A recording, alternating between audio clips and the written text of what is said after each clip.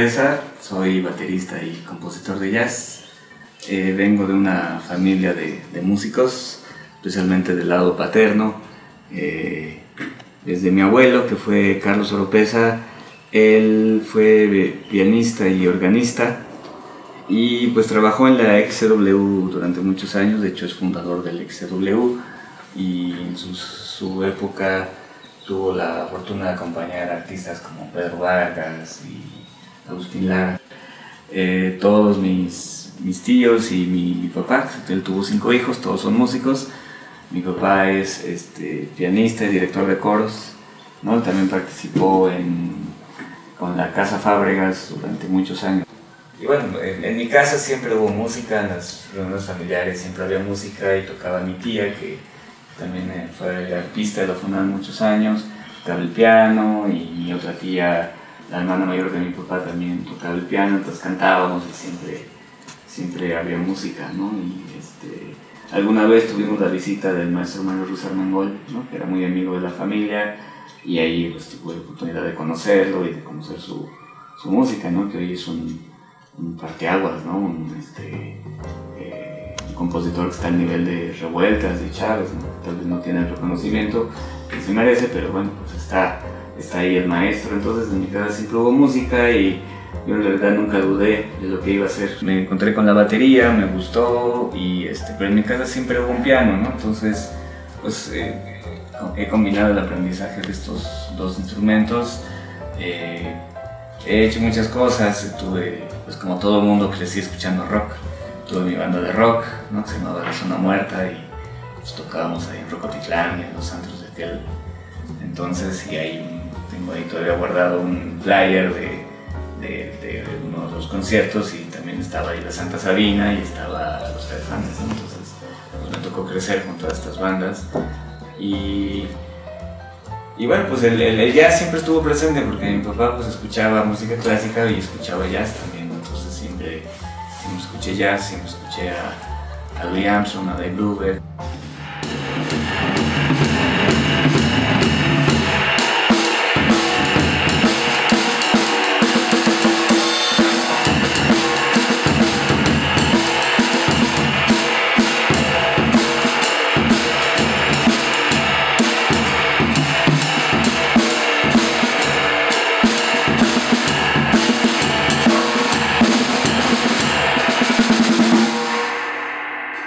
Brubeck. composiciones pasaron por, eh, manos de varios pianistas, especialmente que me ayudaron a, me dieron ideas este, de, hasta de escritura, de armonía, de líneas melódicas, ¿no? de ideas rítmicas, y la música se fue transformando, ¿no? la, toqué también con, con, el mismo Gustavo, ¿no? la tocamos aquí en México, él, él, me acompañó en el Festival Guimarães de Jazz en Portugal, ¿no? un festival muy importante al que tuve la fortuna de ir y y de ser el primer músico latinoamericano que va a ese festival, uno de los más importantes en Portugal.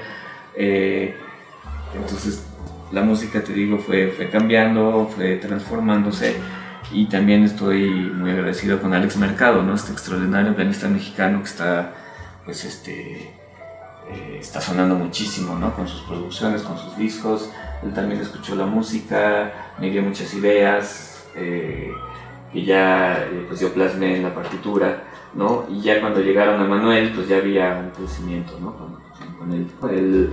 pues hizo también aportes, arreglos, este, me proponía cosas, ¿no? Y también junto con Agustín, que fue como el, el personaje ideal, ¿no? El músico ideal para este proyecto, porque además Agustín pues ya tenía, conocía muy bien a Manuel, es admirador de Manuel y al más gran conocedor del jazz francés. Entonces, pues para mi sorpresa, el, día que nos juntamos los tres, Agustín ya tenía un disco de, que, Manuel había grabado junto al Foster, ¿no? este gran baterista eh, legendario, y Josh Maras, ¿no? también gran contrabajista que lo hizo en Nueva York hace muchos años. Entonces, pues hubo una gran sincronía entre ellos, ¿no?